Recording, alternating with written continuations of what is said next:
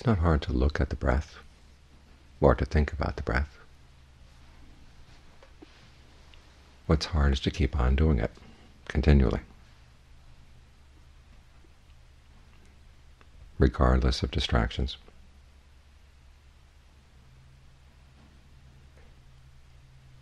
And it turns out that the hard part is the one that's most important.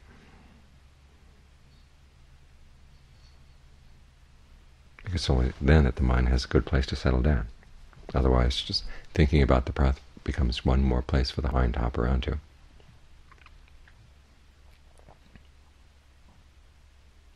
It's the sticking with it that makes the difference.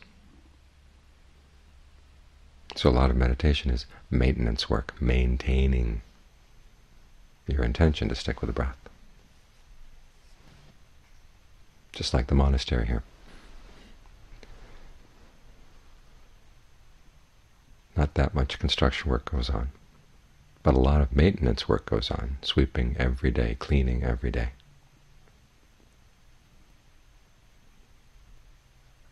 And you notice in the forest at monasteries in Thailand, even less construction work, but the maintenance work continues.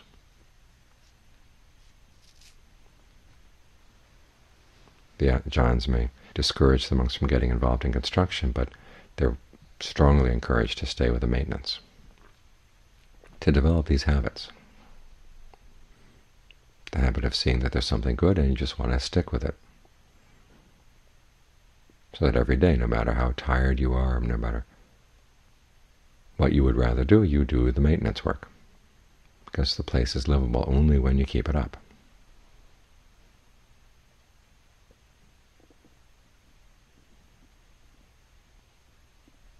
And there's an old tradition that by sweeping up the monastery, you help to develop your discernment.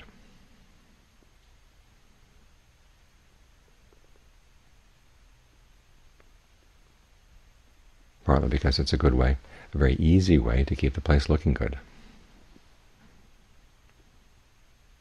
In other words, when you don't let the sala or the any of the buildings get so covered with dust that you can't live in them anymore, and then you just build a new building. That doesn't work at all. You take the easy way out. Just keep it dusted day in, day out, day in, a little bit here, a little bit there, and it just keeps it clean. And also while you're doing the work, you have time to contemplate. You see the leaves falling off the trees. There are lessons in leaves falling off the tree. You swept up the leaves yesterday, and yet the trees keep producing more. It's the same with your mind. You clean out the defilements today, and if you don't stop the defilements at their source, you're going to have more you're going to have to clean up tomorrow.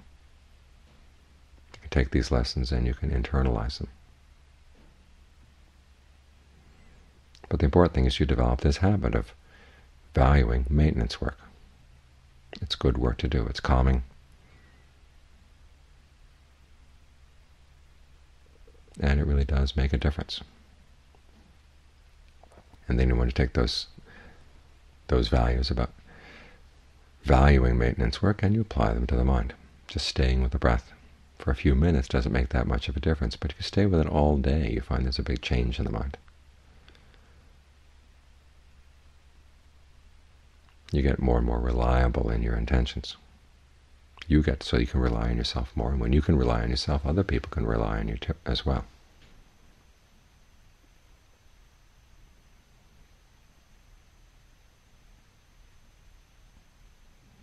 And you start noticing the things in your mind much more clearly than if you were moving around all the time.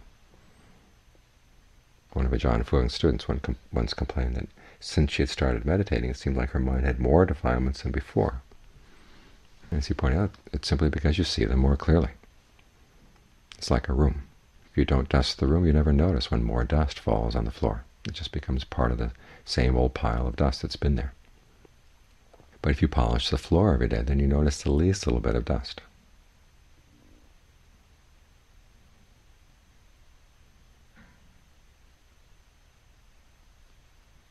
You see this on the pad here in the monastery. If we didn't keep it swept every day, we wouldn't know what animals have been going across the pad. But because we keep it swept, you can see their tracks. You know, last night there was a, a rabbit came through, or something with bigger paws, or birds or snakes.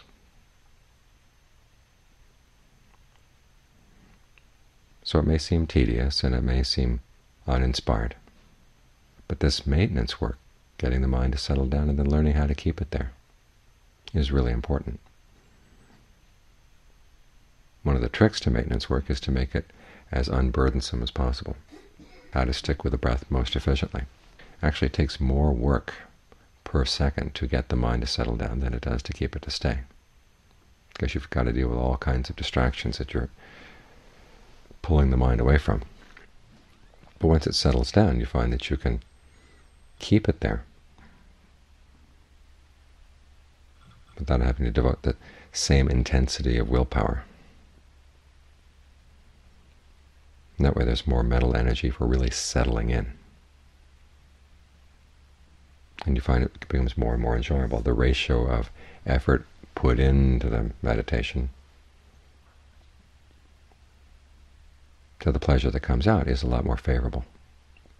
Less effort, more pleasure. Right there is an important lesson in discernment, seeing how efficiently you can keep the mind in place.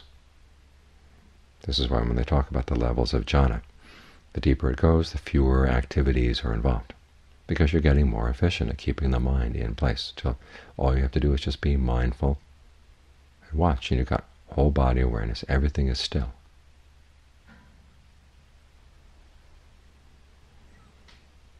Because directed thought and evaluation have done their work rapture and pleasure have done their work. They've given you a sense of fullness. They've given you a sense of ease. And now you can just be very contentedly right here in the present moment, very still,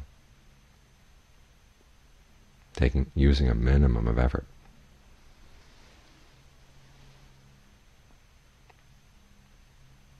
And yet everything in the mind seems really right.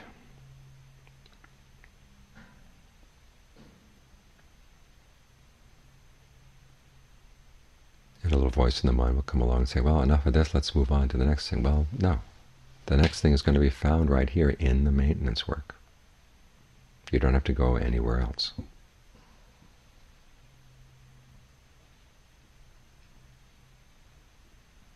But what you do have to do is learn how not to identify with those voices that come along and say, I'm bored, or let's get moving here.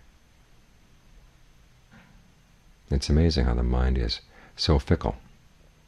You give it a good place to stay, and it gets bored.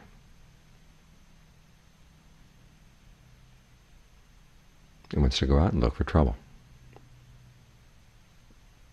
This is the whole problem with the mind. It can't stay content. It's always finding new ways to make itself suffer.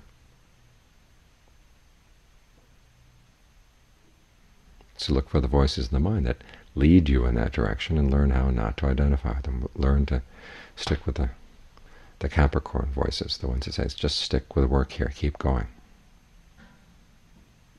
It's because you stick with it that things will make a difference.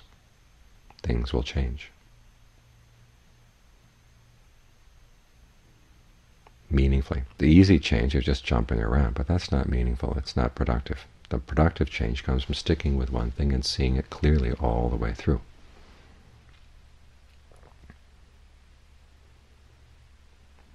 You're here to test the Buddha's teachings. He says that your intentions will make a big difference in the mind if you pay attention to them, if you stick with them. So you've got to test them. The factor of intention becomes more more helpful, the more harmless you can make it. Can you do that? Well, you've got to stick with it. And you've got to be really honest with yourself, because otherwise you won't see the little bits of harm that come slipping through.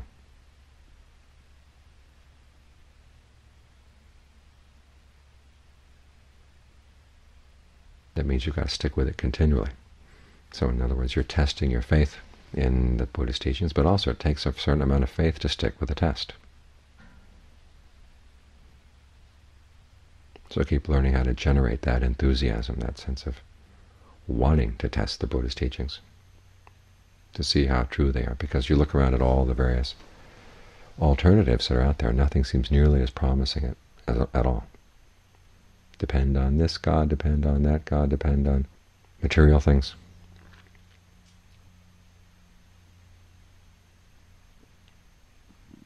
After you've had enough of them, if you really stick with them for a while, you really get sick of them. Because they don't provide any any real satisfaction. So here's this alternative. Let's stick with this one and see what it provides. And you will run up against boredom, but that doesn't mean it's not working. It just means that that's one more thing you've got to look into. But the Buddha here is giving the tools you need to look into it. How does boredom arise? How does it stay? How does it pass away?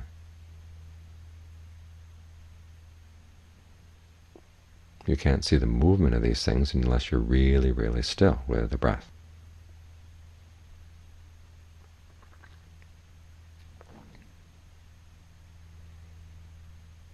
To have a strong sense of the value of maintenance work, maintaining your intention, maintaining any good sensations you got in the breath as best you can as a basis for helping that intention along. If you learn how to help the intention by encouraging yourself, by giving yourself a good place to stay,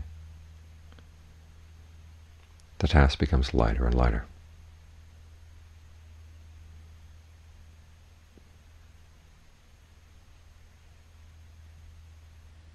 By keeping this intention unchanging, you find that it works real changes in the mind.